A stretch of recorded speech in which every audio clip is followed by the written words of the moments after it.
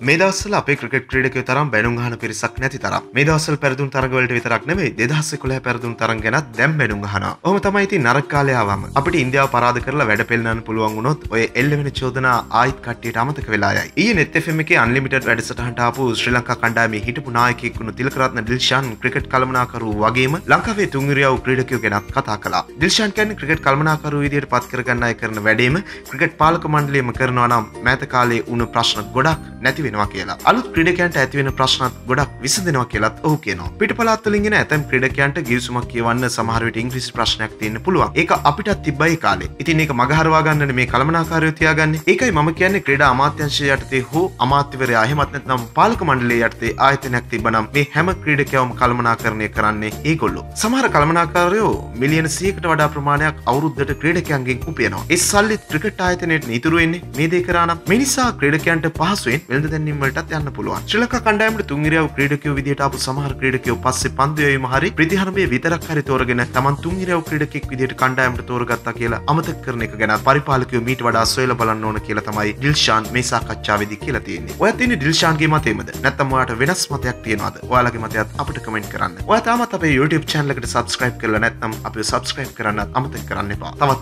අලුත් වීඩියෝකින් හමු වෙනතුරු ක්‍රිකට් ලංකා තුලින් ඔබට සුබ දවසක්.